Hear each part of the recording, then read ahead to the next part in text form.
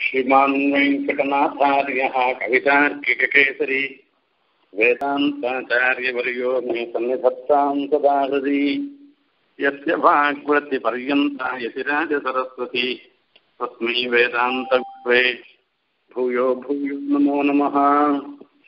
विशुद्धविज्ञानघनस्वरूपम् विज्ञानविश्राणनबद्धदीक्षम् दयानिधिं देहभृतां शरण्यम्। ஏவம் ஹயக்ரீவமகம் பிரபத்தே சுவாமி தேசிகனுடைய சங்கல்ப சூரியோதயத்தில் ஏழாவது அங்கத்தில் சித்திரசாலையில் விவேக மகாராஜாவும் மகாராணி சுமதியும் இங்கே அப்ராக்கிருத்தமாக இருந்துருக்கிற எம்பெருமானுடைய மூர்த்திகள் அந்த சித்திரத்தில் ஒவ்வொரு அவதாரத்துலையும் இருக்கிற விசேஷத்தெல்லாம் பார்த்துட்டு வரா. இப்படி பார்த்துட்டு வரச்சே அவன் நிருசிம்மமூர்த்தியை பார்க்குறான். ஒரு அனுபவத்தெல்லாம் சுவாமி விவேகன் சொல்றதாக விவேகன் வாயிலாக நமக்கு தெரிவிக்கிறார். சில கடைசியில் சாய்க்கிறார். பிரத்யாதிஷ்ட புராதன பிரகரண கிராமஹா க்ஷணம் பாணிஜெய்கி அவ்யா ஸ்ரீணி ஜெகந்தி குண்ட மகிமா வைகுண்ட கண்டீரவகான்னு சொல்லிட்டு அந்த வைகுண்ட கண்டீரவான இருக்கிற அந்த எம்பெருமான். அதாவது நிருசிம்மனாக எழுந்தருள் இருக்கிற எம்பெருமான். நம்ம எல்லாரையும் ரட்சிக்கட்டும்னு அவரிடத்துல பிரார்த்தனை பண்ற இப்படி பிரார்த்தனை பண்ண பிற்பாடு இங்க சுமத்தி சொல்றா ராஜாவினிடத்துல ஆரியபுத்திர ஹேர ஏஷ ஹிரண்மீவ மகாமோகாசுரா புருஷசிம்ஹேன துவயா பிரசமனியா அப்படின்னு அவர் நரசிம்மன் இவர் புருஷசிம்மன்.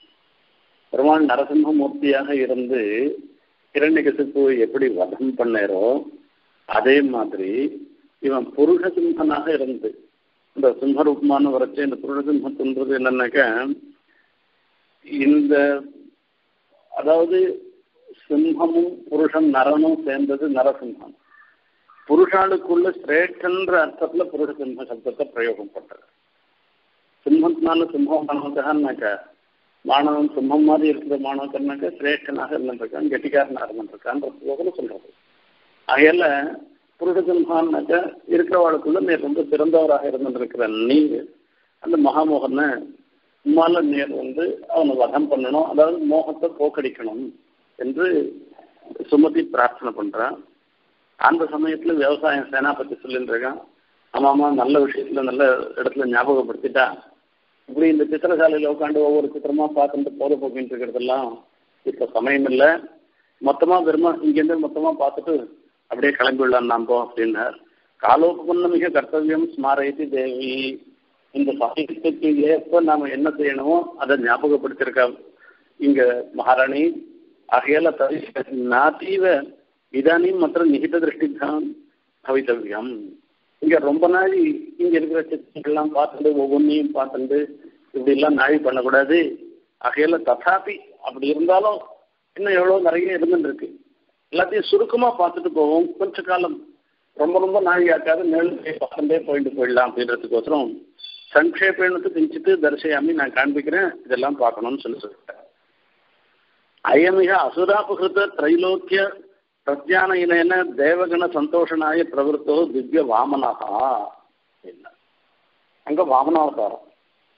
அந்த வாமதாரம் வாமனாவதாரம் எப்படி எதுக்காக பெருமாள் வாமனாவதாரம் பண்ணன்றத பார்க்கணும். அந்த வரைச்சு வாமனாவதாரம் பண்ணதுக்கு காரணம் என்னன்னா அசுர அபகிருத திரைலோக்கிய பிரத்யானயன அசுரனால வாழ்வானுடைய பேரன் பலி சக்கரவர்த்தி. அவன் எம்பெருமானிடத்துல நிறைய பக்தியுடையவன். அவன் பெரிய தாத்தா பெரிய கொடையாளி. ஆனா தேவர்கள் விஷயத்துல வரைச்சே அவன் அவ்வளவு தூரம் சரியா நடந்துக்கல. அந்த தேவர்களிடத்துல இருக்க அவளுடைய சொத்தெல்லாமும் தன்னுடையதாக ஆக்கிட்டான் இப்போ அசுரனாலே பிடுங்கப்பட்டதாக இருந்திருக்கிற சொத்துக்கள் எல்லாம் மறுபடியும் பெருமாளுக்கு மறுபடியும் தேவதைகளுக்கு கொடுத்தவர். யாரு? இவர் தான்.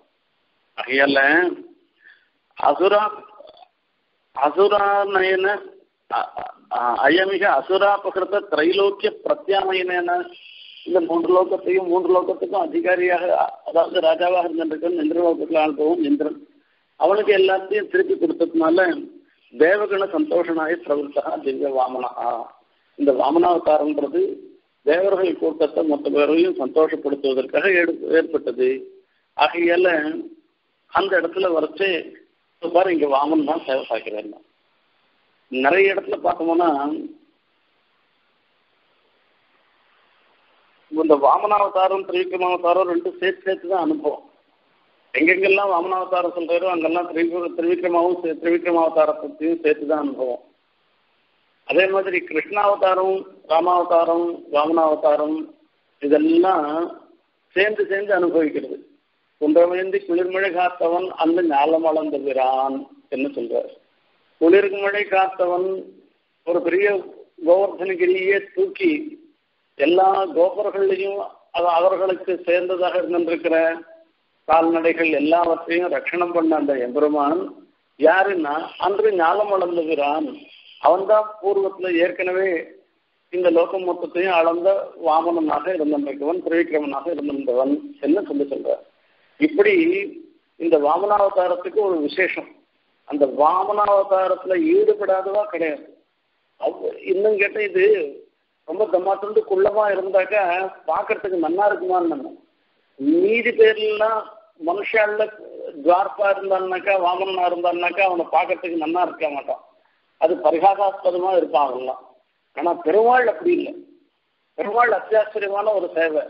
ஆகையாலதான் எல்லா ஆழ்வார்களும் சரி ஆச்சாரியர்களும் சரி எல்லாருமே வாமனாவதாரத்துல ஈடுபடுறா இப்ப இந்த அப்பேற்பட்ட வாமனாவதாரத்தை இந்த இடத்துல அங்க சித்திரமா வரைஞ்சிருக்கு.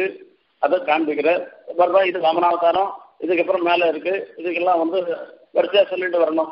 அடுத்தது பரசுராம அவதாரம் ராமாவதாரம் பலராம அவதாரம் இதெல்லாம் சொல்றதுக்கு அப்புறம் வேக வேகமா சொல்லிட்டு போறதுக்கு அப்புறம் விவசாய பிரயத்னப்படுறோம் அப்ப ராஜா சொல்ற இருப்பா இருப்பா. இப்படிலாம் வேகமா போகாத. இது வாமன் பார்க்கணும் அவசியம் பார்க்கணும் அப்படின்னு சொல்லிட்டு சொன்னேன் திஷ்ட திஷ்ட சேனாபதி யாவதேதத்து அஸ்மாதபி திவ்ய வாமனாத்து கிமபி மங்களம் ஆசாசே அந்த திவ்ய வாமனாத்து இவங்க நாம பாக்குற மாதிரி லோகத்துல பாக்குற மாதிரி வாமனம் இல்ல இவன் திவ்யமான திவ்யமான மூர்த்தி இங்க பத்ரான் ரிசுமகுகனாம் அதிஜக்முஷஸ்தேன்னு பத்ர சப்தத்தை சொல்லி சொல்ற। ரிசிம்மன் வந்து லோகத்துல பார்த்தோம்னாக்கா உடம்பு மனுஷனாகவும் முகம் மாத்திரம் ஒரு ரிசுமனாட்டம் ஒரு அதாவது சிங்கமாட்டம் ஒரு மாஸ்க் போட்டு வந்து மனக்கு அது நல்லா இருக்குமான்னா நல்லா இருக்காது. ஆனா இந்த நரசிம்மரை வந்து அவர் அழகிய சிங்கராக இருந்திருக்கார் பத்ரமூர்த்தியம். பத்ர சப்தத்தினால மங்களம் அர்த்தம் இது. மங்களமூர்த்தியாக எழுந்தருள் பெருமாள்னு சொல்றார். அதே மாதிரிதான் இந்த வாமனம் திவ்ய வாமனம் நாம லோகத்துல பாக்குற மாதிரி இப்படி கத்திரிக்காய்க்கு கை கால் முளைச்ச மாதிரி இப்படி இப்படி முள்ள முள்ள போயிட்டு இருக்கிற வாமனம் இல்லை இந்த வாமனர் திவ்ய வாமனராக இருக்க அப்படின்னால தேவதைகளுக்கெல்லாம் அனுகிரகம் பண்ண மாதிரி தேவதைகள்லாம் இந்த வாமனாவதாரத்தை எம்பெருமானிடத்திலேருந்து அனுகிரகத்தை பெற்ற மாதிரி நாம்களும் அந்த வாமனமூர்த்தியினுடைய அனுகிரகத்தை நாம பெற்றுண்டு நாம அனண்ட போவோம்னு சொல்லிட்டு அங்க இருக்கிற வாமனமூர்த்திய அவர் சேவிக்கிறார். அங்க சித்திரத்துல எழுந்துள்ள இருக்கிற வாமனமூர்த்தி அனுசந்தானம் பண்றார் அவர். விரீடானித்தவதான்யதான வயசோ நாசீர பாட்டி பட்டா त्रय्यक्षम् मकुटम् पुनन्नवतु नः त्रैविक्रमो विक्रमः यत्प्रस्तावसमुच्छ्रितध्वजपटी वृत्तान्तसिद्धान्तिभिः स्रोतोभिः सुरसिन्धुः अष्टसु दिशा सौधेषु दोधूयते பெருமாள் வாமனாவதாரம் பண்ணதே பலி சக்கரவர்த்தியினுடைய புகழ பரப்புவதற்காக இருக்காங்க. பெருமாள் ஒவ்வொரு அவதாரம் பண்ணி சௌஸ்ரேயா அன்பவதி ஜாயமானான்னு வேதம் சொல்றது. நாமெல்லாம் ஒவ்வொரு பிறப்பு எடுக்க எடுக்க நமக்கு அது ஒரு இழு ஏன்னா இப்படி எல்லாம் ஒரு பிறப்பு எடுத்துட்டு இருக்குமேன்னு சொல்லி சொல்றதுனால நமக்கு இழுக்கு. இதே பெருமாளுக்கு என்னன்னு கேட்டோம்னாக்கா சவு ஸ்ரேயான் பவதி ஜாயமானகான்ற ஒவ்வொரு அவதாரம் எடுக்க எடுக்க அவருக்கு பெருமையா?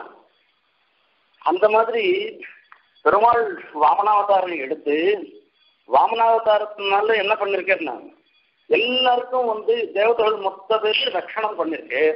ஆகையால அவருக்கு பெருமை தானே இல்ல இல்ல. இது வாமனாவதாரத்தினால பெருமை யாருக்குன்னா பெருமாளுக்கு இல்ல. அந்த மகாபலி சக்கரவர்த்திக்கு தான் பெருமை. என்று இந்த இடத்துல சுவாமியினுடைய திருவள்ளம் மற்றும் இந்த இடத்துல தெரிவிக்கிறார். தானவயசோ நாசீர தாதி தானவயசோ நாசீர தாதி அப்படின்னு சொல்றார்.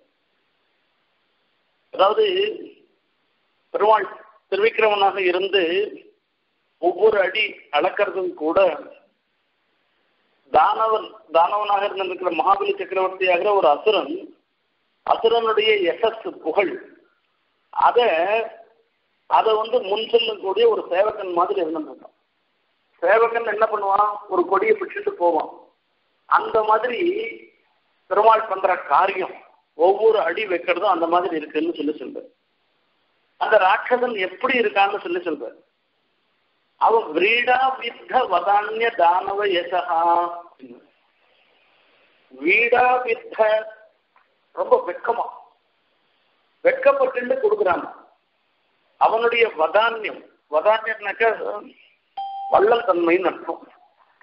இப்ப மகாபலி சக்கரவர்த்தியினுடைய வள்ளல் தன்மை வேதம் சொல்றது நாம யாருக்கான ஏதானா கொடுக்கறதா இருந்துன்னாக்கா நம்ம மனசு மனசார நாம கொடுக்கறதா இருந்தாக்கா அதை எப்படி கொடுக்கணும்ன்றத சொல்லி சொல்றது சிட்டாச்சாரத்துல ஸ்ரத்தையா தேயம் அஸ்ரத்தையா தேயம் ஸ்ரீயா தேயம் கிரியா தேயம் பியா தேயம் அப்படின்னு சொல்லச்சு ஸ்ரத்தையா தேயம் நாம ரொம்ப இது அவசியம் இந்த சுவாமி இதை வாங்கிட்டேருனாக்கா நமக்கு பாக்கியம். இதை அவசியம் நேர் ஏத்துக்கணும் என்ன சொல்லி அவளுக்கு தானம் பண்ணச்சே நாம கொடுக்கணும். எத்தையோ கொடுக்குறான் வாங்கி போட்டோம் அப்படின்ற ஒரு எண்ணத்தோடு கூட. அஸ்ரத்தையா நதேயம் உச்சம் போயிட்டோம்னு சொல்லி போனா போட்டோம்னு சொல்லி அந்த மாதிரிலாம் நம்ம கொடுக்கக்கூடாது அஸ்ரத்தையா நதேயம் ஸ்ரத்தையா தேயம். பக்தி ஸ்ரத்தையோட பக்தியோட இதை வாங்கிண்டா அவருக்கு பெருமையை காட்டணும் நமக்கு பெருமை என்ன நினைச்சிருந்து கொடுக்கணுமா? ஸ்ரீயாதேயம்னு சொல்ற. ஐயோ இவ வேற வந்துட்ட. இவருக்கு வேற கொடுக்க வேண்டி போயிட்டு அப்படின்னு முகத்தை முக போட்டு கொடுக்க கூடாதான். இவருக்கு கொடுக்கச்சு ஸ்ரீயாதேயம்னா முகத்துல ஒரு பிரசன்னத்தையோட நமக்கு இவருக்கு கொடுக்கறதுக்கு உண்டான சக்தியை நமக்கு பெருமாள் கொடுத்துருக்காரு. இது எவ்வளவு பாக்கியம் நமக்கு நாம பண்ணிருக்கோம்னு ஒரு சந்தோஷத்தோட ஸ்ரீயாதேயம் பிரியாதேயம் அப்படின்னு சொன்ன ஒரு பயத்தோடு கொடுக்கணுமா? இப்படிப்பட்ட மகான்கள் வந்து ஒரு விஷயத்தை நம்மள கேட்ட பிற்பாடு நாம கொடுக்காத போயிட்டுமான பெரிய அனர்த்தம் வந்துடும். கணக்கு அதை கொடுக்கறதுக்கு சக்தி இருந்ததுன்னாக்க நாம கொடுக்காத போயிட்டோம்னா பெரிய அனர்த்தம் வந்துடும். ஆகையால நாம அவசியம் கொடுக்கணும்னு சொல்லி ஒரு பயத்தோட கொடுக்கணும்னு சொல்லி சொல்ற சம்பிதாதேயம் அப்படின்னா சங்கல்பம். இதை கொடுக்கறது எந்த தானம் கொடுக்கறதா இருந்தாலும் வெறும எடுத்தும் போன்னு சொல்லாத சங்கல்ப பூர்வமாக கொடுக்கணும். ஸ்ரீ பகவதாஜ்யா பகவத் பிரீத்தியர்த்தம் சொல்லிச்சு கோத்ராய சர்மனு என்ன கோத்திரமோ என்ன சர்மனோ அந்த சொல்லி சொல்லி துர்யமகம் சம்பிரதே நமஹா நமமா உனக்கு நான் கொடுக்குறேன்னு சொல்லி கொடுக்கணும். அப்போதான் அதுக்கு தானம்னு பேர் இருக்கு. சம்பிதா தேயம்னு சொல்லி சொல்றார். இப்படி எல்லாம் வேதத்துல சொல்லிருக்கு. இப்போ இவனுக்கு பெரிய வெக்கமா. கிரியா தேயம்னு சொல்லி சொல்றது இருக்க இது. அதாவது இவ்வளவு பெரிய விஷயம் அதாவது இவ்வளவு பெரிய மகான் நமக்கு வந்திருக்க நம்மாத்துக்கு வந்திருக்க அவருக்கு நாம கொடுக்கறதுன்றது இருக்க அல்பமான ஒரு விஷயம். குசேலர் பெருமாள் கண்ணனுக்கு என்ன குத்தமிச்சிருக்கா மண்ணின்னு கண்ணன் கேட்குற தான் ஒன்றும் சொல்றதுக்கு அவருக்கு வாய் வரல குச்சேலருக்கு ஏன்னா அவள் பொறி குத்தமிச்சிருக்கு அந்த அவல வந்து அதுவும் எங்கேயோ ஒரு அழுக்கு துணியில மூட்டை கட்டிட்டு தன் துணியில மூட்டை கட்டி வச்சுருக்கார் ஒரு மூலையில். அது ஒண்ணும் இல்லாத அணைச்சிருக்க மாட்டான்றது மாத்திரம் கண்ணனுக்கு தெரியும். இவர் பெரிய ராஜ்யஸ்ரீ அங்கேருந்து வரச்சே விஜயலர் வந்திருக்காருன்னு சொல்லச்சு சுதாமா வந்திருக்காருன்னு சொல்லச்சு அங்கேருந்து ஓடி வரார். ஓடி வரச்சே என்ன சொல்ற ஒரு தங்க வட்டிலும் தங்க தட்டும் எடுத்துட்டு வந்து இவருக்கு அர்ச்சம் பாத்தியம் ஆட்டமணி எல்லாம் சமர்ப்பிக்கிறார். அதுவும் ருக்மிணி தேவியே கூட வந்து இவர் பெருமாளுக்கு அதாவது குசேலருடைய திருவடிக்கு பாத்தியம் சமர்ப்பிக்கச்சு அவங்க ஜலம் சேர்க்கிறா பெருமாள் வந்து கண்ணன் வந்து அந்த திருவடியை அலம்பி விடுறேன் குசேலன் குசேலருடைய திருவடியை அலம்பி விடுறேன் இது எல்லாத்தையும் பார்க்கிறேன் குச்சல். அப்ப நீ எதனா எனக்கு கொண்டு வந்திருக்கியான்னு கண்ணன் கேட்கச்சு தான் கொண்டு வந்திருக்கிறது அத்தியல்பமாக இருந்துருக்கிறது இவ்வளவு பெரிய மகாராஜாக்கு ஒரே ஒரு பிடி அவள் கொடுத்து அமைச்சிருக்கா வேற ஒண்ணும் இல்லை. நான் அவள் கொண்டு வந்திருக்கேன்னு சொல்றதுன்னா அவருக்கு வெக்கமா இருக்கும். அதுதான் ஸ்ரீயா தேயம்னு சொல்றது. அவர் வெக்க அந்த மாதிரி நம்மாத்துக்கு ஒரு பெரிய ஒரு இவா வந்துட்டாள்னா பாகவதால் வந்துட்டாள்னாக்கா நாம் எது கொடுத்தாலும் சர்வத்தையுமே அவளுக்கு கொடுக்க வேண்டிய ஒரு சன்னிவேசம். ஆச்சாரியன் வந்துட்டேருனாக்கா அவருக்கு எல்லாம் நாம பண்ணலாம். ஆனா நம்மளால இவ்வளவுதான் முடியறதுன்னு சொல்லி ஒரு வெக்கப்பட்டு கொடுக்கணுமா? இப்போ இவனுக்கு விரீடையோட சேர்ந்துருக்கு. விரீடன்னா வெக்கம். பலி சக்கரவர்த்தி ஒரு வெக்கத்தோட கொடுக்குறேன்னு சொல்லி சொல்ற என்ன வெக்கம்? பலி சக்கரவர்த்திக்கு என்ன வெக்கம் அப்படின்னு? தம்மாத்துண்டு இருந்துட்டு ஒரு குள்ளனா இருந்துட்டு இந்த வாமன இவரை பார்த்து உனக்கு என்ன வேணும்னு கேட்குறது. இந்த இடத்துல வாமனாவதாரத்தெல்லாம் பார்த்தோம்னா ரொம்ப சுவாரஸ்யமா இருக்கும். அப்பா உனக்கு பொண்ணு வேணுமா பெண்ணு வேணுமா பொருள் வேணுமா அப்படின்னு கேட்கிறாரு ராஜ்யம் வேணுமா என்ன வேணும்னு கேட்குற நீ பிரம்மச்சாரி நீ குள்ளமா இருந்துட்டு இருக்க நீ கொள்ளமா இருக்கிறவாளை யாரும் கல்யாணம் பண்ணிக்க மாட்டான்னு நினைச்சுண்டு நீ வந்து ஆகையால குள்ளமா இருக்க? எனக்கு எனக்கு யாரானா பொண்ணு கொடுப்பாளான்னு பொண்ணு கேட்கறியான்னு சொன்னா நீ மீதி குள்ளம் மாதிரி குள்ளம் இல்லை நீ. நீ பெரிய தேஜஸோட இருக்கிற குள்ளம். உன்னை எத்தனையோ பேர் கல்யாணம் பண்ணிக்கிறதுக்கு சித்தமா காத்துன்னு இருக்கா நீ சொல்லு என்ன பொண்ணு வேணும் வந்தா பொண்ணு கொடுக்குறேன்னு சொல்லி சொல்றாரு அவங்க. இப்படி பொண்ணு வேணுமா பொண்ணு வேணுமா என்ன வேணும் சொல்லு அது கொடுக்குறேன்னு அப்படி பலி சக்கரவர்த்தி கேட்கச்சே அவர் ஒன்றும் வேணாம். எங்காலால மூணே மூணு அடி நலம் இருந்தா போறோம்னு சொல்லி சொல்றார். ஓரிமன் தாராய் எனக்கென்றுன்னு சொல்ற அதுலயும் பார்க்கணும். அந்த வார்த்தையே மாறி மாறி சொல்றான் அடி மூன்று தாராய் அப்படின்னு சொல்லி மாத்தி மாத்தி சொல்லி சொல்றான் அவன் நேரையும் அது கேட்கலையும் இது கேட்க கூட தெரியாத ஒரு குழந்தையா இருந்துருக்காருன்னு அந்த வாமனன் இடத்துல ஒரு பெரிய பகுமதி பலி சக்கரவர்த்திக்கு. இவ்வளவு இவ்வளவு பெரிய சக்கரவர்த்தியின் இடத்துல போய் இந்த ஒரு சின்ன குழந்தையா இருந்து இவர் போய் மூணே மூணு அடி நிலம் கொடுப்போம்னு சொல்லி கேட்டது பார்த்தோம்னா தன்னுடைய நிலைக்கு அவர் கேட்டது ஒரு வெக்கப்படும்படியாக இருக்கு. இது ஒரு பிரகாரம். இன்னொன்னு சரி என்ன கேட்கிறாரோ கேட்கறத கொடுத்துருவோம்னு சொல்லி பார்த்தாரு அங்கேருந்து சுக்கராச்சார் ஓடி வரு சுக்கராச்சார் ஓடி வந்து டேடே பலி சக்கரவர்த்தி பார்த்து சொல்ற என்ன அசுர குரு ஐயோ நீ வந்து இவனுக்கு போய் இங்க வந்திருக்கிறது சாதாரண வாமனம் இல்லை நீ பாக்குற மாதிரி மனுஷன்ல இருக்கிற குள்ளன் இல்லை இது. சாட்சாத் மகாவிஷ்ணு.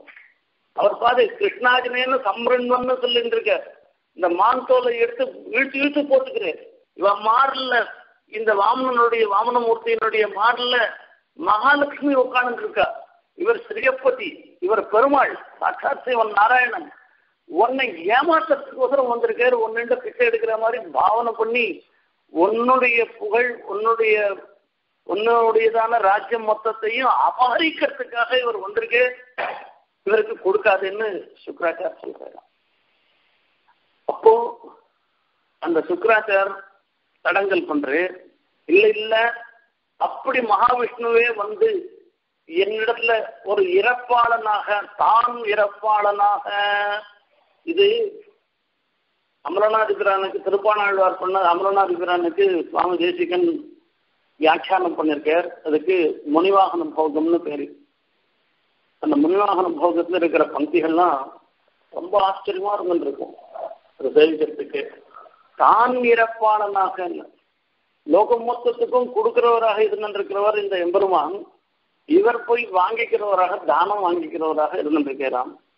இப்படி வரைச்சு சுக்கராச்சார் சொல்லச்சே கூட இதனால எனக்கு பெருமை தானே தவிர எனக்கு ஒன்றும் குறவில்லை அப்படி பெருமாளே வந்தா கூட வரட்டும் நான் கொடுக்கறது கொடுக்கறதான்னு சொல்லி சொன்னான் அது சொன்னாலும் கூட சுக்கராச்சார் என்ன பண்ணாருன்னா தானம்னா என்னன்னாக்கா ஸ்வஸ்வத்த நிவத்தி பூர்வக பரஸ்வத்வாபாதானன்றது தானன்றது அதாவது இந்த அக்ஷத்தையும் தண்ணியும் சேர்த்து கொடுத்து தானம் பண்றதுன்னு சொல்றது. தாரவாக்குறதுன்னு சொல்றதெல்லாம் இருக்க இது தானம் கொடுக்கறது தான் தாரையா ஜலத்தால இது பண்றது. கல்யாணம் கன்னிகா தானம் பண்ணச்சே கூட நாம் என்ன பண்ணுவோம்னாக்க நாம் அந்த கன்னிகையினுடைய குழந்தையும் அந்த கைய அந்த வரனார் வந்திருக்கான அவன் கையில பிடிச்சு நாம் அந்த கையால எடுத்து அவன் கையில வச்சு நம்மளுடைய பத்னியா இருக்கிறவ ஜலம் சேர்க்க இந்த குழந்தைய இது வந்து மகாலட்சுமி ஸ்வரூபமாக இருந்திருக்கிற என்னுடைய பெண்ணை மகாவிஷ்ணு ஸ்வரூபமாக இருந்திருக்கிற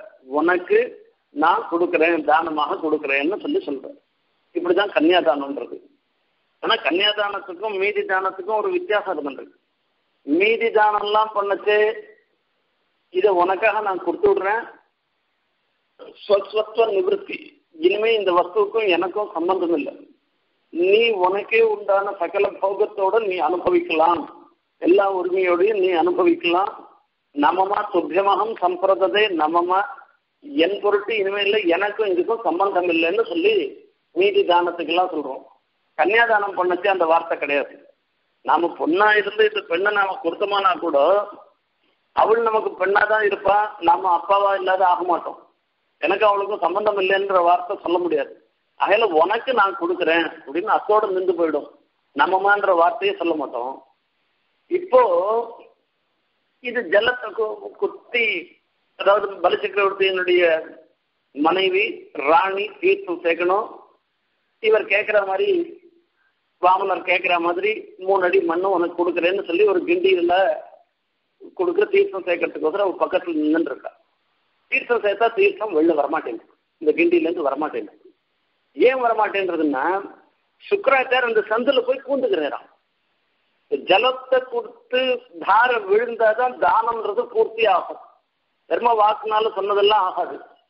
அப்போ இந்த ஜலத்தை அப்போ பூமனரா இருக்கிற பெருமாள் என்ன பண்றாராம்? இவர் பவித்திரம் போட்டு இருக்காராம் சுக்கிரன் கண்ணை குத்திய சக்கரத்தை துரும்பால் குத்திய சக்கர கையன்னு சொல்லி ஆழ்வார் மங்களா சாசனம் இந்த பவித்திரம் போட்டு இருக்கிற தர்பத்தினால இந்த மூக்கு இருக்கு கிண்டியினுடைய மூக்கு இருக்க அந்த மூக்குக்கு தர்பத்தால இப்படி குத்துறான் குத்தினாங்க இது ஏதோ அடைச்சுட்டு இருக்குது இங்க. அந்த அழுக்கு அடைச்சுட்டு இருக்கு. இதை போய் போயிட்டுனா சரியா போயிடும்னா இதால குத்தினா சுக்கரன் கண்ணை சுக்கரன் சுக்கராச்சாரியருக்கு கண்ணு போயிட்டு இருக்கான். என்ன அது கண்ணை போய் இவர் குத்திட்டாரு அப்படின்னு சொல்லிட்டு. அதுக்கும் காரணம் இருந்துருக்கு ஒருத்தன் தானம் பண்ணச்சு அதை தடங்கல் பண்றதுன்றது பெரிய பாப்பம் அந்த பாப்பத்துக்கு பலன்தான் சுக்கராச்சார் தன் கண்ணை இழந்தது. ஒரு கண்ணை அவர் இழந்தார் இப்ப தானம் பண்ணச்சு இவனுக்கு வெக்கம் பலி சக்கரவர்த்திக்கு என்ன வெக்கம் வந்ததுன்னாக்கா இவன் கேட்டதா மூணே மூணு அடி நிலம். இதுக்கு உடனே கொடுக்கணும்னா இத்தனை தடங்கள். இவ்வளவு நாழி ஆக்கி இவ்வளவு தாமதம் பண்ணி இவனுக்கு கொடுக்கறதான்னு சொல்லிட்டு பலி சக்கரவர்த்திக்கு வெக்கமா. அதுதான் இந்த இடத்துல சுவாமி அழகா சாதிக்கிறார். விரீடா வித்தவதான்ய வெட்கத்தாலே மனசு வருந்தியதாக இருந்திருக்கிற பிரிய வதான்யன் வள்ளலாக இருந்திருக்கிற யாரு? தானவ யசோ நாசீர் தாத்தீபுரா அப்படின்னு. தானவ யசா தானவனாக அசுரனாக இருக்கிற ராஜா மகாபலி சக்கரவர்த்தியினுடைய நாசீர் யசோ நாசீர் தாத்தீபுரா புகழாகிற ஒரு பெரிய சேனை அதுல மென்னு நிக்கிறவனாகவும் त्रय्यक्षम् मकुटम् पुनवतुनः त्रैविक्रमो விக்ரமः திருவாளூர் அடி அழகிறேன் இறந்த உடனே பெருமாளுடைய திருவடி அப்படியே நேர போறது பிரம்மலோகத்து வரைக்கும் பறந்து போறது அவ்வளவு பெரிய திருவடியா அந்த பிரம்மலோகத்துக்கு போன உடனே பிரம்மலோகத்துல இருந்துருக்கிறவா மொத்த பேரும் சொல்லிட்டா இப்ப பலி சக்கரவர்த்தியை பெருமாள் ஜெயிச்சார்னு சொல்லணுமா இல்ல பெருமாள் பலி சக்கரவர்த்தி ஜெயிச்சார்னு சொல்லணுமா இந்த திருவடி இருக்க பலி சக்கரவர்த்தியினுடைய புகழை பரப்புவதாக இருந்திருக்கு. இத பார்த்தாக்கா பலி சக்கரவர்த்தியினுடைய ஒரு வள்ளல் தன்மை தான் ஜெயிச்சு ஜெயிச்சுது. பெருமாள் அந்த விஷயத்துல தோத்து போயிட்டேன்னு சொல்லணும்ன்றது. தேவதைகள் விஷயத்துல வரச்ச என்னன்னா தங்களுடைய சொத்தை அவன் தன்னுடைய சொத்தாக நினைச்சுன்றதுனால அதனால வந்த சிரமம்லாம் போயிட போறது இப்போ. பெருமாள் இதை எதுவும் வச்சுக்க மாட்டேன். எல்லாம் அவ அவளுக்கு அப்படி அப்படியே கொடுத்துட போறேன் ஆகையால பெருமாள் ஜெயிச்சுட்டேன்னு இவன் நினைச்சுக்கிறாளாம். இப்போ இந்த பெருமாளுடைய ஒரு அடி திருவிக்ரமாவதாரத்தினுடைய அடின்றது பலி சக்கரவர்த்தியினுடைய புகழ பரப்புவதாக இருக்குன்னு அர்த்தம். த்ரையக்ஷம் மகுடம் புனன்னவதுனா த்ரைவிக்ரமோ விக்ரமஹ. த்ரையக்ஷம் மூன்று கண்களை உடையவன் முக்கண்ணப்பன் யாரு? சிவபெருமான். அவனுடைய மகுட்டம் முடி அவனுடைய தலை. அந்த தலையை பரிசுத்தமாக ஆக்கிறதாம் திரைவிக்ரமோ விக்ரமஹா. அந்த திருவிக்கிரமனாக இருந்திருக்கிற அந்த எம்பரவானுடைய விக்கிரமம் ஒரு அளக்கிறதுக்காக திருவடி வைப்பு இருந்துருக்க. சிவபெருமான பரிசுத்தமாக ஆக்குறதுன்னு சொல்லி சொல்றாரு. அதாவது ஒரு அடி வைக்கிற வச்ச உடனே பிரம்மலோகம் சத்தியலோகம் வரைக்கும் போறது. அந்த சத்தியலோகத்துல வந்த உடனே அது பெருமாளுடைய திருவடின உடனே புருடத்தை சொல்லி பிரம்மா அந்த கமண்டலுவை தங் பக்கத்துல வச்சிருந்த கமண்டலுவிலிருந்து தீர்த்தத்தை எடுத்து அந்த பெருமாளுடைய திருவடிக்கு திருமஞ்சனம் பண்றேன் அந்த திருமஞ்சனம் பண்ண தீர்த்தம் தான் கங்கையாக ஆகுது. அந்த கங்கையா ஆகச்சு அது அங்கேயே சுத்தின்னு இருக்குது. பகீரதன் அந்த கங்கையை கொண்டு வந்தாக்க கொண்டு வரலாம் அந்த பகீரதனுடைய பிரயத்னத்தினால அந்த கங்கை வரச்சே அந்த கங்கை சிவபெருமானுடைய முடி மேல வந்து விழ அப்போ சிவபெருமானுடைய முடி அவர் தலையால தாங்கிக்கிறான். பெருமாள் திருவடி தீர்த்தத்தை சீபாத தீர்த்தத்தை சிவபெருமான் தலையால தாங்கிக்கிறோம் நாம கூட பாருங்க பெருமாள் தீர்த்தம் வாங்கிக்கச்சு முதல்ல அப்படியே தீர்த்தத்தை வாங்கி சாப்பிட்றோம். சாப்பிட்டுட்டு அப்புறம் கடைசியில ஒரு வாட்டி சிஷ்டாச்சாரத்துல இருந்துருக்கு. இன்னொரு வாட்டி கடைசியில மூணு வாட்டி தீர்த்தம் கொடுத்த பிற்பாடு நாலாவது வாட்டி கொஞ்சமா தீர்த்தம் கொடுப்போம். அந்த தீர்த்தத்தை எடுத்து தலையில புரோட்சிப்போம் நம்ம ஆனா ஸ்ரீபாத தீர்த்தம் வாங்கிக்கிட்டு ஆச்சாரியாளுடைய ஸ்ரீபாத தீர்த்தம் வாங்கிக்கிட்டு முதல்ல தலைக்கு புரோட்சிச்சுக்கிறோம். அப்புறமா தான் அந்த ஸ்ரீபாத தீர்த்தத்தை நம்ம சாப்பிட்றோம். இது தலைக்கு புரோட்சிச்சுக்கிறது எப்படி இருக்குன்னாக்கா பெருமாளுடைய ஸ்ரீபாத தீர்த்தம் சிவன் முடி மேல பட்டு அந்த சிவன் முடி மேல தலையில படுறதுனால இந்த ஸ்ரீபாத தீர்த்தம் வாங்கிக்கிறதுக்கு நம்மளை பரிசுத்தமாக ஆக்கிண்டு அந்த ஸ்ரீபாத தீர்த்தம் வாங்கிக்கிறதுக்கு ஒரு யோக்கியத்தையே சம்பாதிக்கும் பெருமாள் திருவாராசனம் பண்ணணும்னாக்கா நாம ஸ்நானம் பண்ணிருக்கணும் சந்தியாவனம் பண்ணிருக்கணும் அப்புறம் தான் பெருமாளுக்கு திருவாராசனம் பண்ண முடியும். இப்ப ஸ்நானம் பண்றது திறமம் நட்டுக்கிறது சந்தியாவந்தனம் பண்றது இதெல்லாம் பெருமாள் திருவாராசனத்துக்கு ஒரு யோக்கியத்தையே சம்பாதிச்சுக்கிறோம் நம்ம இதெல்லாம் பண்ணி. அதே மாதிரி ஸ்ரீபாத தீர்த்தம் வாங்கிக்கிறதுக்கு ஒரு யோக்கியத்தை வேணும். நாம பரிசுத்தமா ஆக்கிக்கணும். எப்படி பரிசுத்தமாக ஆக்கிக்கிறதுன்னா அந்த ஸ்ரீபாத தீர்த்தத்தால தான் நம்மளை பரிசுத்தமா ஆக்கிக்க முடியும். ஆகையால அந்த ஸ்ரீபாத தீர்த்தத்தை எடுத்து நம்ம தலையில புரோட்சிச்சுக்கிறோம் முதல்ல. அப்புறமா மூணு வாட்டி ஸ்ரீபாத தீர்த்தம் வாங்கிக்கிறோம். அது வேற விஷயம். அந்த மாதிரி இந்த இடத்துல என்னன்னாக்க சிவபெருமானுடைய தலையில பெருமானுடைய ஸ்ரீபாத தீர்த்தமாக இருந்திருக்கிற கங்க உயிர் கங்க விழறதுனால அந்த சிவபெருமான் ஸ்மசானாதிகள்ல தானே இருக்கிற இருப்பு. அதனால அவர் கொஞ்சம் அவருக்கு ஒரு அசுத்தி ஏற்படுறது அந்த அசுத்தி எல்லாம் போக்கடிச்சு சிவபெருமான பரிசுத்தமாக ஆக்கக்கூடியதாக இருந்திருக்கிறது இது यत् प्रस्ताव समुच्छ्रित ध्वजपटी वृत्तान्त सिद्धान्तिभिः स्रोतोभिः सुरसिन्धुः अट्टसु दिशा सौधेषु दोधूयते அந்த அப்பேற்பட்ட திருவடி பெருமாளுடைய திருவடி அளக்கிற திருவடி நம்மளெல்லாம் ரட்சணம் பண்ணட்டும் என்று பிரார்த்தனை பண்றார். அவத்து நகா அவத்து என்று. இன்னொரு விஷயம் என்னன்னாக்க எத் பிரஸ்தாவ எதனுடைய ஆரம்பத்திலேயே சமுச்சிரித துவஜபதி. அந்த துவஜபட்டம் இருந்துருக்க அது துவஜமா இருக்கணும்னா அது மேல ஒசர்ற பறக்கணும் உயர்ற பறக்கணும். விருத்தாந்த சித்தாந்திபிகி ஸ்ரோதோபிகி அதாவது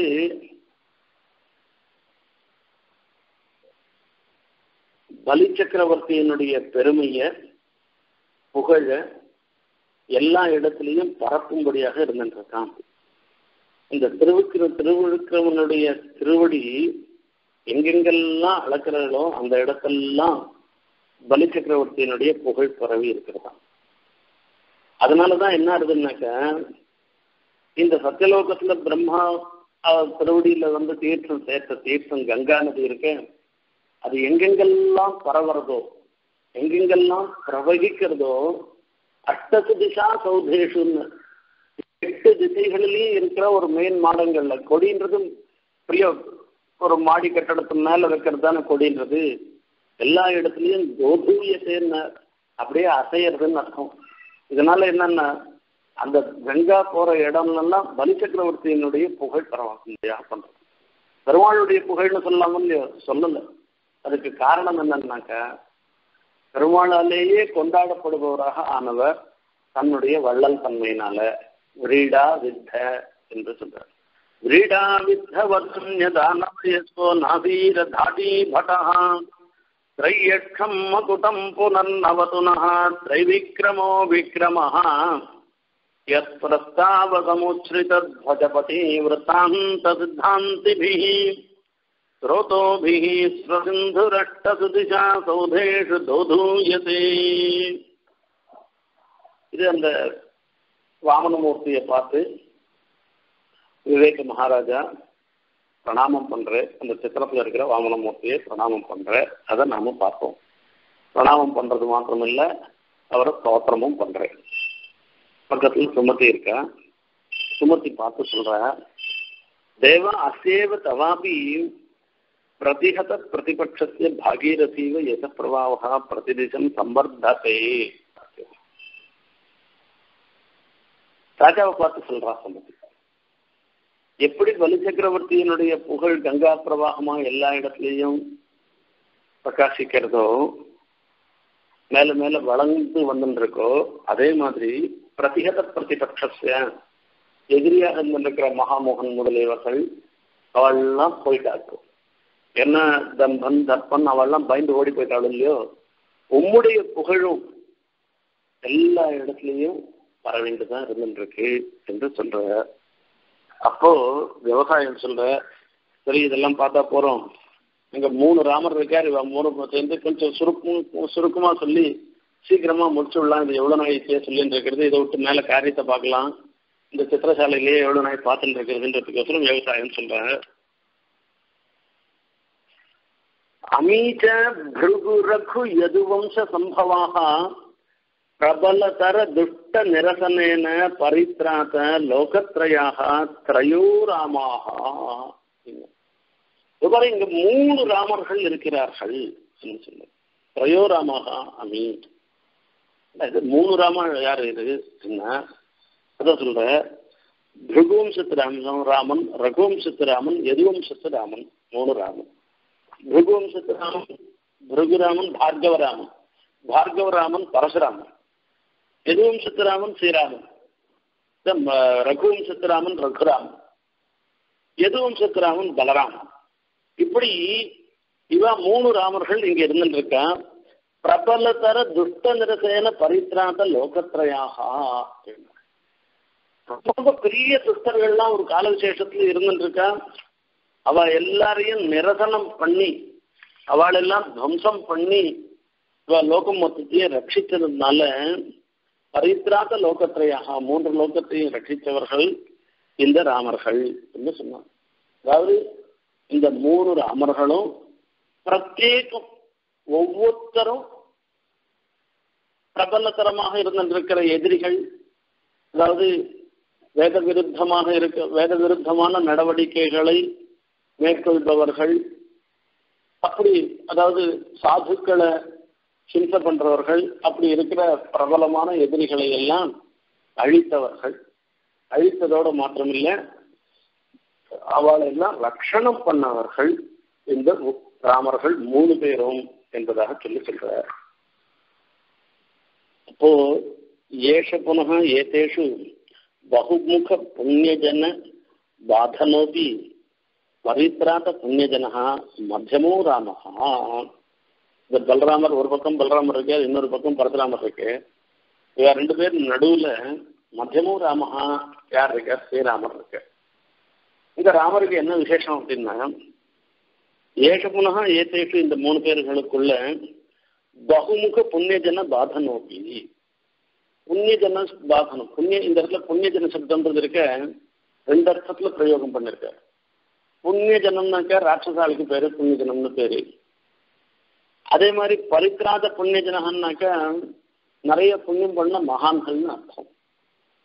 இப்போ பகுவிதமான பகுமுகமாக இருக்கிற புண்ணியஜன பாதனகா. ஆரம்பத்திலேருந்து பார்க்கணும் காட்டுகையிலேருந்து ஆரம்பித்து சுபாகு மாரிக்கன்லேருந்து ஆரம்பித்து விராதன் கரதூஷணம் திருசிரத்தெல்லாம் சொல்லி மாரிக்கன் முதலியவெல்லாம் சொல்லி இது கும்பகர்ணன் ராவண பர்யந்தமாக இருந்திருக்கிற அத்தனை புண்ணியஜனங்களையும் ராட்சச கூட்டங்களையும் அழித்தவர் அவர். அப்படி பண்ண அதே புண்ணியஜனத்தை சொல்லி இன்னொரு புண்ணியஜனம் சொன்ன பரித்ராக புண்ணியஜனகா. ஒரு புண்ணிய தினத்தை அழிச்சு இன்னொரு புண்ணிய தினத்தை காப்பாத்தினார்.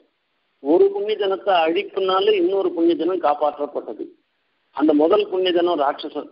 அழிந்தது ராட்சசன். காப்பாற்றப்பட்டது மகான்கள் புண்ணியம் பண்ணவர்கள் என்று மற்றமோ ராமகா இந்த நடுவில் இருக்கிற ராமர் இது அப்படின்னு. உடனே அந்த விவசாயம் ராமனுடைய விசேஷம் மொத்தத்தையும் சொல்லிட்டு வர ரகுவீர கத்தியத்தில் சுவாமி தேசிகன் சாதித்த விஷயத்த அதை ஒரு சங்கேபமாக அதில் முக்கியமான சில சில சூர்ணிகைகளை மாத்திரம் எடுத்து விவசாயம் சொல்றதாக இந்த இடத்துல சொல்ற ரொம்ப அற்புதமான விஷயம்.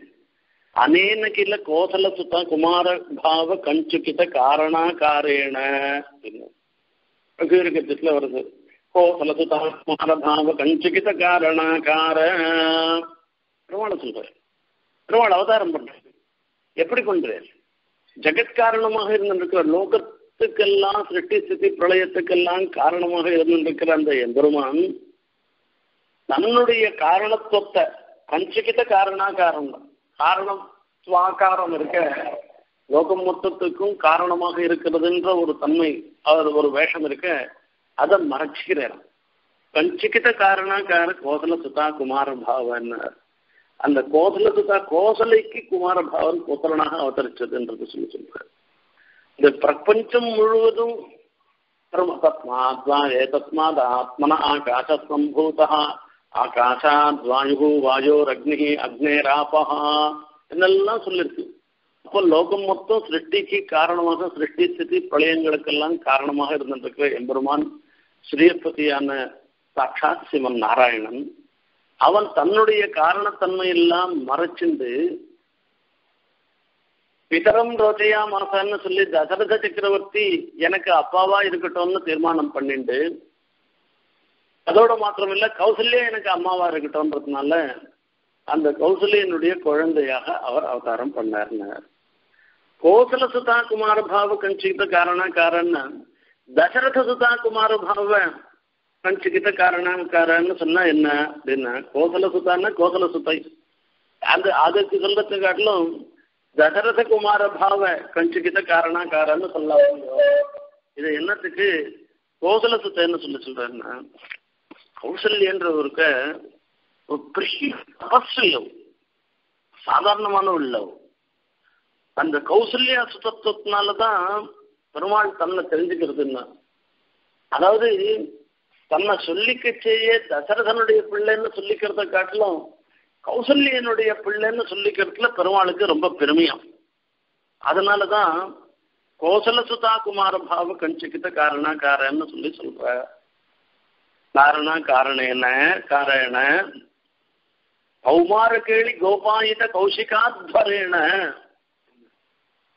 இப்ப அந்த ராமர் பண்ண இன்னொரு விஷயத்த சொல்லி சொல்ற. இது ஒரு ரகுவீரகத்தியத்துல நடக்கிற ஒரு நிகழ்ச்சி தான் கௌமார கேளி கோபாயித கௌசிகாத்வரன் கௌமார கேள்வி சின்ன பிள்ளையினுடைய ஒரு விளையாட்டு. அந்த விளையாட்டுனாலேயே அந்த மகர்ஷி விஸ்வாமித்ர மகர்ஷியினுடைய யாகம் இருக்க யாகம்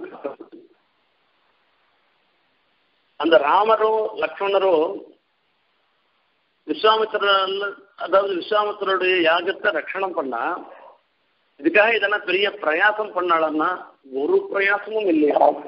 சின்ன பசங்க விளையாடுற மாதிரி அந்த விஸ்வாமித்திரருடைய தியாகத்தை ரட்சணம் பண்ணிட்டாங்க.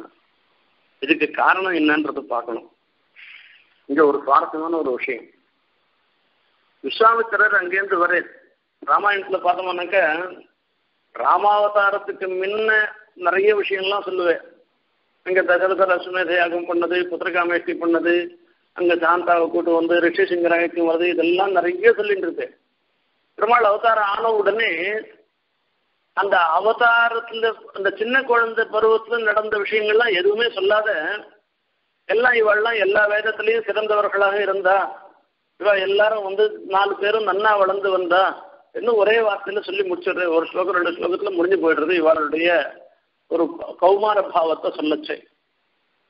உடனே அங்கேருந்து விஸ்வாமித்திரர் வந்துடுற விஷயம்தான் வருது அடுத்தது. விஸ்வாமித்திரர் அங்க வர அங்க வரச்சே இந்த மாதிரி விஸ்வாமித்திரர் வரேன்னு தசரத சக்கரவர்த்திக்கு சொல்றார். விஸ்வாமித்திரர் மகா கோபக்காரர். அவரை பத்திரமா பார்த்துட்டு அவருக்கு என்னென்னலாம் புரஸ்காரம் பண்ணணுமோ அதெல்லாம் பண்ணி நல்லபடியா அமுச்சு வைக்கணும்ட்டு அவர் தசரத சக்கரவர்த்தி சிம்மாசனத்திலேருந்து இறங்கி வயசானவராக இருந்தால் கூட குடுகுடுன்னு வாசல் வரைக்கும் ஓடி வந்து விஸ்வாமித்திரருக்கு எல்லா பரிசரையையும் பண்ணி அவரை முன்ன வர சொல்லி சொல்லிட்டு சபையில வந்து அவர் உட்காண்ட பிற்பாடு அப்புறம் தான் உட்காந்துக்கிறேனாம் அவ்வளவு புரஸ்காரம் எல்லாம் பண்ணிட்டு அவரை பார்த்து கேட்கிற அப்பா நீ இவ்வளவு தூரம் வந்திருக்கிற. உமக்கு என்னால எதனா சகாயம் பண்ணணுமா? பண்ண முடியுமான்னு தான் நான் பண்றேன் நானு. என்னை எப்படி உபயோகப்படுத்திக்கணுமோ அப்படி உபயோகப்படுத்திக்கணும்னு தசரத சக்கரவர்த்தி விஸ்வாமித்திரர் இடத்துல சொல்றேன் அப்போ விஸ்வாமித்திரர் சொல்ற ஒன்றும் இல்லை எனக்கு ஒன்றும் ஒன்னால ஒன்றும் பெரிய காரியம் ஆக வேண்டியதில்லை. கொஞ்ச நாளைக்கு ராமனை என்னோட அனுப்பிச்சு வைப்போம் காட்டுக்கு. ஊனஷோடச வயசு என்ன? அப்ப இன்னும் பதினாறு வயசு கூட ஆல இன்னும் மீச கூட முளைக்காத ஒரு பருவம் இது. இவ்வளவு சின்ன குழந்தை. இவனை போய் ராட்சசாலெல்லாம் ராட்சசாலால உன்னுடைய யாகத்துக்கெல்லாம் கஷ்டம் வருது உபத்திரவம் வருது. அந்த உபத்திரவத்தை போக்கடிக்கிறதுக்கு இவனாச்சும் வரணும்னு சொல்றியே. எனக்கு இன்னமும் விசுவாசம் இல்லையே. இவனால உங்க காரியம் ஆகுமா? நான் ஒண்ணுன்னா சேனையோட வரேன். நீர் எத்தனை யாகம் வேணா பண்ணும். அது வரைக்கும் அங்கேயே உட்காந்துருக்கேன் டேரா போட்டுன்னு அவர் சொல்றாரு. அகம் வேத்னி மகாத்மானம் ராமம் சத்திய பராக்கிரமம்னு தசரத சக்கரவர்த்தியை பார்த்து சொல்றார் விஸ்வாமித்திரர். உனக்கு இது யாருன்னு தெரியாது. அகம் வேத்னி மகாத்மானம் ராமம் சத்திய பராக்கிரமம் நீ உன்னுடைய பிள்ளையா? ஒரு சாதாரண மனுஷனாதான் இந்த ராமனை பாக்குறேன் இவ பெரிய மகாத்மா. அகம் வேத்னி எனக்கு தெரியும். மாற சட்டுன்னு சொல்றேன். ராமம் சத்திய பராக்கிரமம் அவருடைய பராக்கிரமம் எந்த ஒரு சமயத்திலையும் வீணா போகாததாக இருந்திருக்கிறது. அப்பேற்பட்டவர் தெரிய ராமன் தெரியும் நீ என்னோட அனுப்பிச்சு வைன்னு கேட்கிறேன் இப்படி சத்திய பராக்கிரமம்னு விஸ்வாமித்திரர் சொன்ன பிரகாரத்துக்கு அவர் தன்னுடைய பராக்கிரமத்தை காண்பிக்கிறதுக்கோசரம் இதெல்லாம் ரொம்ப கஷ்டப்பட்டேரான்னா விஸ்வாமித்திரர் யாகத்தை ரட்சணம் பண்றதுக்கோசரம் இதெல்லாம் ரொம்ப கஷ்டப்பட்டேரன்னா ஒரு கஷ்டமும் படலையாம். ஒண்ணும் இல்லை கௌமார கேளி கோபாயித கௌஷிகாத்வரேண அங்க ரகுவீர கத்தியத்துல எல்லாம் சம்போதனம். இந்த இடத்துல வரைச்சு அப்படி இப்ப திருத்தியா பக்தியில சொல்ற கடைசியில முடிக்கச்சு என்னன்றது முடிக்கிறேன்றத அப்ப பார்ப்போம். அடுத்தது ரணாத்வரதுரிய பவ்ய திவ்யாஸ்திர பிருந்தசாலினா ரணாத்வர துரிய பவ்ய திவ்யாஸ்திர பிருந்த வந்திகான்னு அந்த இடத்துல சொல்ற ரகுவீர கத்தியத்துல இந்த இடத்துல என்னன்னா ரணாத்வர துரிய பவ்ய திவ்யாஸ்திர பிருந்தசாலினா இந்த திவ்யாஸ்திர பிருந்தத்தை உடையவராக இருந்திருக்கவர். இல்ல அந்த திவ்யாஸ்திர பிருந்தங்கள்லாம் ராவனுக்கு ராவனுடைய ஜெயத்தை புகழ பரப்புவதாக இருக்கின்றனன்னு சொல்லி ரணாத்வர ரணம்ன்றதே போர்ன்றதே ஒரு பெரிய யாகம்.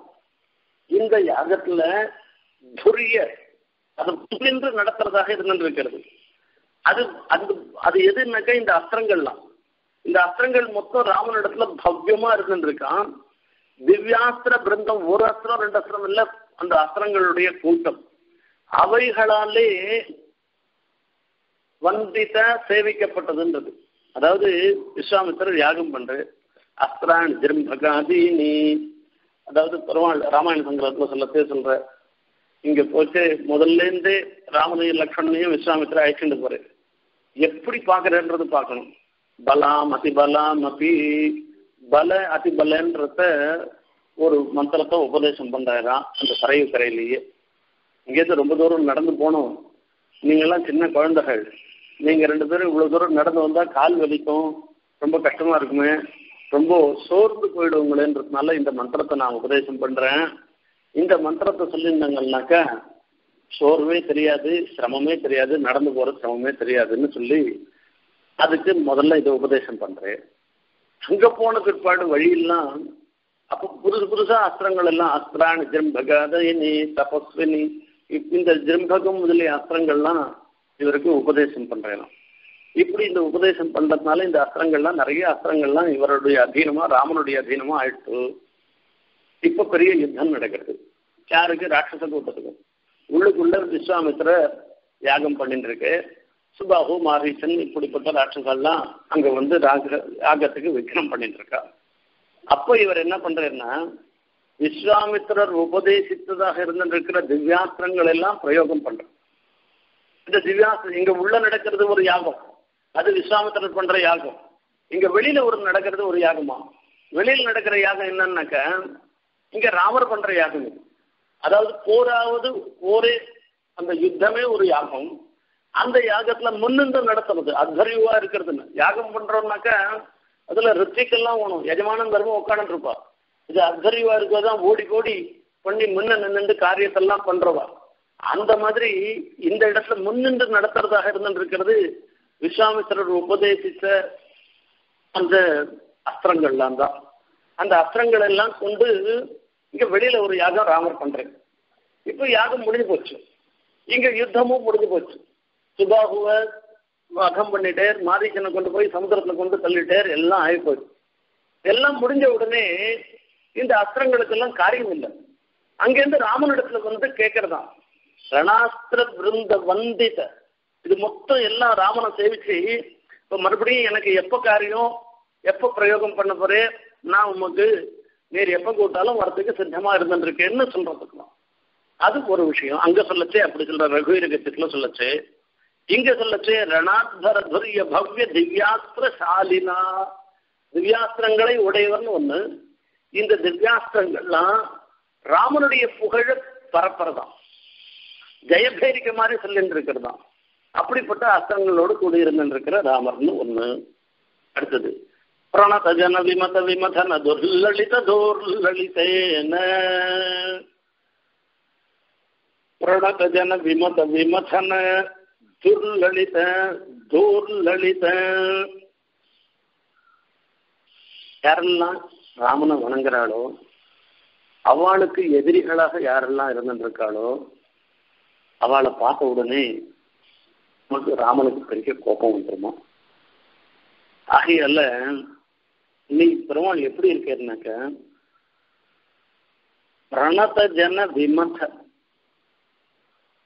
தன்னை அண்டியவர்களாக இருந்திருக்கிற அடியார்களின் எதிரிகளிடத்துல அந்த எதிரிகளை விமதன ஒழிப்பதிலே துர்லலித தோர்லலிதான் எதிரிகள் விஷயத்துல அவர் ரொம்ப கொடியவராக இருந்துருக்கிறான் அவர்களை ஒழிக்கிறதுல வரச்சே உன்னுடைய தோல் ராமனுடைய தோல் ரொம்ப ரொம்ப கொடியதாக இருந்திருக்கு.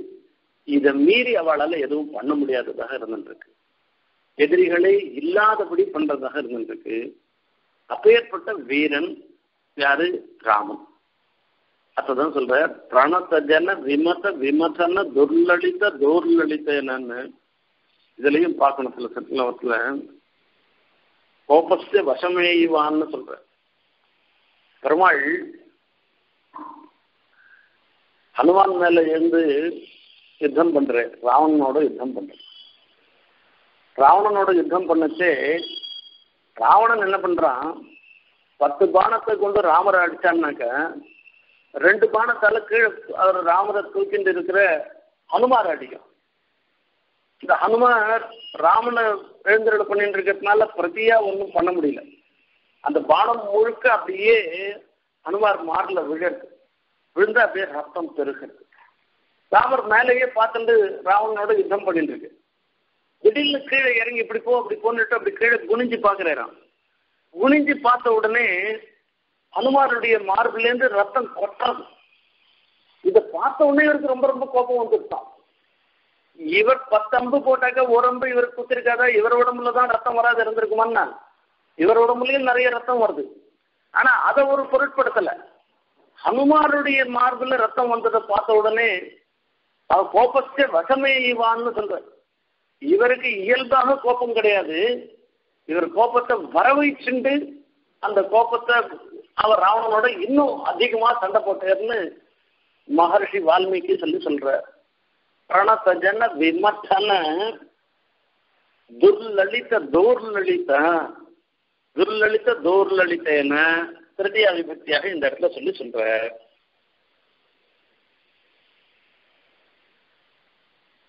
அப்புறமா மைதிலி நகர சுலோச்சன லோச்சன சகோர சந்திரேன இதெல்லாம் முடிஞ்சு அங்கேருந்து ராமாயணம் மொத்தம் சொல்ல போறேன் விஸ்வாமித்தருடைய யாகத்தை ரட்சணம் பண்ணியாச்சு. விஸ்வாமித்தருடைய யாகத்தை ரட்சணம் பண்ண பிற்பாடு அங்கேருந்து இதுக்கு வரேன் மிதிலாப்பட்டினத்துக்கு வரேன் அந்த மிதிலாப்பட்டினத்துக்கு வரைச்சு எல்லாரும் அந்த ராமனையே பார்த்துட்டு இருக்காளாம் மைதில நகர சுலோச்சனாலோச்சன சகோர சந்திரா. மைதில நகரம் மிதிலாப்பட்டினம். இந்த மிதிலாப்பட்டினத்துல சுலோச்சனா அங்க இருக்கிற பெண்கள்லாம் கண்ணழகு படைத்தவர்களாக இருந்திருக்காளாம் அவள்லாம் அவ மொத்த பேரும் ராமனை பாக்குறாள் ராமனை பார்த்த உடனே ராமன் சந்திரனாக இருந்துருக்காரான் சகோர சந்திரன். சகோரம்னு ஒரு பக்ஷி. அந்த பக்ஷி என்ன பண்ணும்னாக்க சந்திரனுடைய காந்தி இருக்க அந்த காந்தியே சாப்பிட்டு அது உயிர் வாழும். அதாவது அதுக்கு பிராணதாரணமாக இருந்துருக்கிறது சந்திரனுடைய காந்தி. அந்த மாதிரி இந்த கண் படைத்தவர்களாக இருந்திருக்கிற மைதில நகரத்துல மிதிலாப்பட்டினத்துல இருக்கிற பெண்கள் மொத்த பேரும் ராமனை பார்க்கறான் ராமனை பார்த்த உடனே சக்கோர பட்சியாட்டம் இது சக்கோர பட்சி நிலாவை பார்த்ததுன்னாக்கா வெச்ச கண்ணை வாங்காது அப்படியே பார்த்துட்டே இருக்கும். ஏன்னா நடுவில் அமாவாசை வந்துட்டுன்னா சந்திரன் தெரியாது. அது வரைக்கும் இதுக்கு வந்து தன்னுடைய ஆகாரத்தை ஸ்டார்ட் பண்ணிக்கிற மாதிரி பண்ணிக்கிறோம். அந்த மாதிரி வெச்ச கண்ணை வாங்காத பார்த்துட்டு இருக்கலாம் இவா மொத்த பேரும் ஒன்று விஷயம்.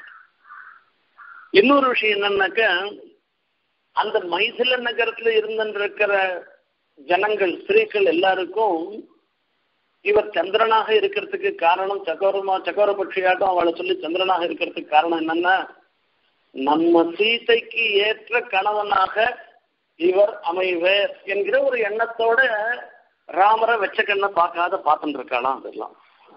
அதனால அந்த இடத்துல சொல்லி சொல்ற மைதில நகர சுலோச்சனாலோச்சன சகோர சந்திர தினகர குல கமல திவாகரேண.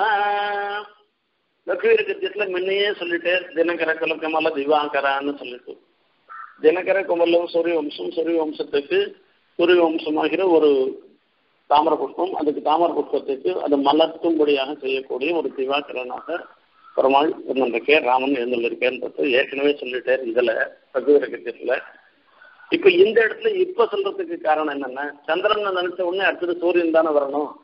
அப்ப சந்திரன் அதுவும் கண்ணுன்னு வேற சொல்றது. கண்ணுன்னு வரதே பெருமாளுக்கு கண்ணு சூரியனும் சந்திரனும் கண்ணா இருக்கான்னு சொல்லச்சு. ஒரு கண்ணை சொல்லியாச்சு இன்னொரு கண்ணை சொல்லணுமோ இல்லையோ? அந்த கண்ணு எதுன்னாக்க தினகர குல கமல தீவாகரேன. ఖండ ఖండపరశుగోదండ ప్రకాండ ఖండన సౌంద భుజ దండేనా ఖండ ఖండపరశు గోదండ ప్రకాండ దండ భుజదండేన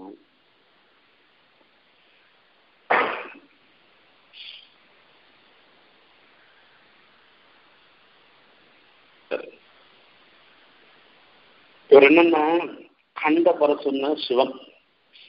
சிவனுடைய கோதண்ட பிரகாண்ட கண்டனம். அந்த கோதண்ட பிரகாண்டம் மிகச்சிறந்ததாக வில்லாக இருந்திருக்கு. அந்த வில்லை கண்டன முறிப்பதிலே சவுண்ட புஜதண்ட. அதுக்கு உண்டான சாமர்த்தியம் இருந்திருக்கிற புஜதண்ட தோல் வலிமையை உடையவராக இருந்திருக்காருன்னு அர்த்தம். கண்ட பரசு கோதண்ட பிரகாண்ட கண்டன சவுண்ட புஜதண்டேன என்பதால. இப்போ இதனால என்ன சொல்றது? அந்த இடத்துல சிவ தனுர்பங்கம் பண்றாரு இல்லையோ? ஜனக மகாராஜா தன்னுடைய புதல்வியாக இருந்திருக்கிற சீதா பிராட்டியை யாருக்கான கண்ணு கல்யாணம் பண்ணி கொடுக்கணும் அப்படின்னாக்கா யாருக்கு கல்யாணம் பண்ணி கொடுப்பேன்னு சொன்னாக்க யாரு யார் இந்த தனுஷை எடுத்து நான் ஏற்றாளோ அவளுக்கு என் பொண்ணை கல்யாணம் பண்ணிவிட அந்த வீரிய சுல்கமாக அது வைக்கிறேன். எத்தனை எத்தனையோ பேர் வரா அத்தனை பேரும் அதுல தோத்து போயிட்டா. அப்போ கடைசியில யார் ஜெயிக்கிறதுன்னா பெருமாள் தான் ஜெயிச்சு ராமன் தான் ஜெயிச்சு. அப்போ அந்த கண்ட பரிசுவாக இருந்திருக்கிற சிவபெருமான் அவனுடைய மிக பெருசுதாக இருந்திருக்கிற வில்ல சவுண்ட பூஜதண்டா இவருக்கு அதை முறிப்பது இந்த கண்டனம் பெருமாளுக்கு பெருமாளுடைய குறிக்கோள் அந்த வில்ல ஒடிக்கணும்ன்றது இல்லை. ஆனா அது என்ன ஆயிடுத்து அது ஏற்கனவே பங்கமானது. இவர் எப்படி இழுத்து நான் சேர்க்கிட்டு அது டான்னு உடஞ்சி போயிடுது முறிஞ்சு போயிடுது. அவ்வளவுதானே தவிர இவருக்கு அதுல குறிக்கோள் இல்லை. அந்த அளவுக்கு பராக்கிரமத்தை உடையவராக இருந்திருக்கேன்றதுனால இதை சொல்ற. கண்ட பரசு கோதண்ட பிரகாண்ட கண்டன சவுண்ட புஜதண்டேன. பிருகுபதி சுகதி விகதி கரணர்த்தாம் பருடி பரிடிஷு பரிகேன இப்போ அடுத்த விஷயம் சொல்றாரு. என்னன்னாக்கா ஈஷு பரீட்சம் அப்புறமா இது வந்து லட்ச பிரஜாபதியா இதுல பெரிய விஸ்தாரமான சொல்ற கது ஹரவிசி கரிதந்துக விஹுத்முக ஜகதரும் துதஜித ஹரிதம் திதம் ததம் துர தசவதன தமன குசல தசசதபுஜ முக நிருபதி குல ருதிர ஜர பரித பிருகுதர தட்டாக தப்பித பிருகுபதி துகதி பருடிஷு பரிகா இது பரசாம பரசுராம அவதாரத்தை சொல்லி சொல்ற விஷயம் இது அதில் கடைசி பாகத்தை மாத்திரம் இந்த இடத்துல சொல்றார் இந்த கீழே சொன்ன விஷயத்திலேயே என்ன ஆயிடுச்சுனாக்க அந்த கோல்டன் அதாவது சிவபெருமானுடைய தனுஷை வளைச்சு அதை உடைச்சிட்டேன்றதுனால அது கல்யாண பரியந்தம் சொல்லிட்டு தான் ஆயிடுச்சு சீதா கல்யாணம் விவாக பரியந்தம் சொல்லிட்டு தான் ஆயிடுச்சு கல்யாணமாய் திரும்பி வர திரும்பி வரச்சே நடந்த பிருகுபதி சுகதி விகதிகர நத பரிடிஷு பரிகன்னு சொல்ற பிருகுபதி சுகதி. பிருகுபதியாக இருக்கிற பரசுராமன் பரசுராமனுக்கு ஒரு நற்கதியை ஏற்படுத்துறதுக்காக விகதி தர அவரை தடை செய்ததாக இருந்திருக்க நத பருட இஷு பரிக. இந்த அந்த இஷுன்றது இருக்க இந்த தாப்பால் போன்ற அம்பு. அதுல ஒவ்வொரு கணு கணுவா இருந்துருக்கு அப்படிப்பட்ட அம்பு உடையவன் அர்த்தம். இந்த இடத்துல சீதா பிராட்டியை கல்யாணம் பண்ணிட்டு எல்லாம் நாலு பிள்ளைகளுக்கும் நாலு பேர் கல்யாணம் பண்ணி வச்சிடுறார். பாண்டவி சுதகீர்த்தி ஊர்மிழை இவெல்லாம் வந்து பரத சத்திருக்கனாளுக்கும் லக்ஷ்மணனுக்கும் மனைவியாக ஆறா நாலு பிள்ளைகளும் நாலு மாட்டு பொண்ணோடையுமா கிளம்பி தசரத சக்கரவர்த்தி மிதிலாபட்டினத்துலேருந்து இதுக்கு போறேன் அயோத்திக்கு போறேன். போற வழியில பரசுராமர் தடுக்கிறேன். நீ என்னமோ பெரிய பராக்கிரமசாலின்னு சொல்றிய அது உடஞ்சி போன வில்லு அத்தை போய் நீ பெருமை செத்த பாம்பு அடிக்கிற மாதிரி அதை நான் ஏற்றுட்டேன் நீ ஏதோ பெரிய பராக்கிரமி வெள்ளாளுன்னு சொல்லிக்கிறியா என் எங்கையில் இருக்கு பாரு இதை பாரு நீ அப்படின்னு சொல்லி. என்ன இருக்குது உன் கையில என்ன? என்னிடத்துல விஷ்ணு தனுஷ் இருக்கு. இதை நீ வந்து நான் நேற்றி என்னோட சண்டை போட முடியுமானா நீ பாரு உன் பராக்கிரமத்தை காண்பேன் தசரதர்லாம் பயப்படுறேன். ஐயோ என்னாச்சோ என்ன ஆயிடுமோ என்ன ஆயிடுமோ என்ன ஆயிடுமோ இந்த போய் இந்த பரசுராமர் வந்திருக்காரு. நான் இனிமே இந்த பூமிக்கே வரமாட்டேன்னு சொன்ன வெட்டி இப்படி வந்து நின்றுருக்காரு. நம்மளெல்லாம் என்ன பண்ணிடுவாரோன்னு பயப்படுறாராம் தசரத சக்கரவர்த்தி அப்போ ராமர் சொல்றாராம் நீங்கெல்லாம் பயப்படாதுங்க நான் பார்த்துக்கிறேன்னு சொல்லிட்டு சொல்றாரு.